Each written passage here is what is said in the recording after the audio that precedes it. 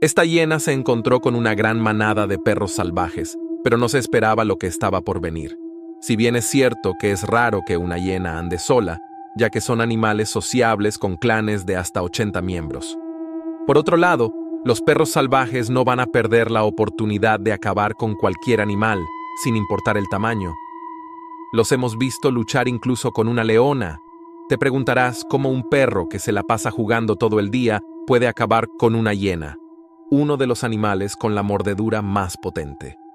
Los perros salvajes son más ágiles que una hiena, además de ser agresivos y territoriales.